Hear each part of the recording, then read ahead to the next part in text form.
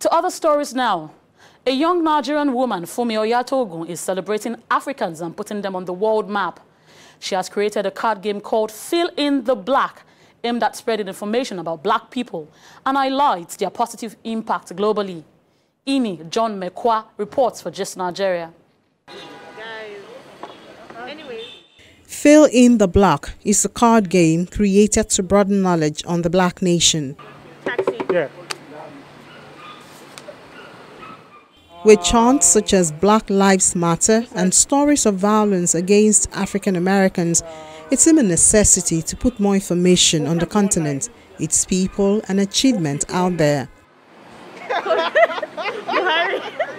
this, Funmi Oyatogun says, motivated the creation of the game.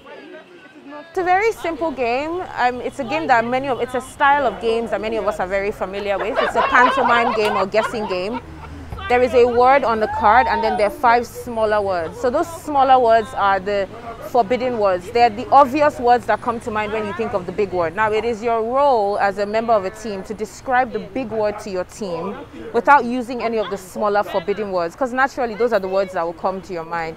But I've noticed that people describe visa so differently depending on the context that they're in and this goes back to us telling different black stories. So somebody who lives in Canada or lives in the US or lives in Sweden would, would see the word visa and the first thing that would come to mind is the credit card company.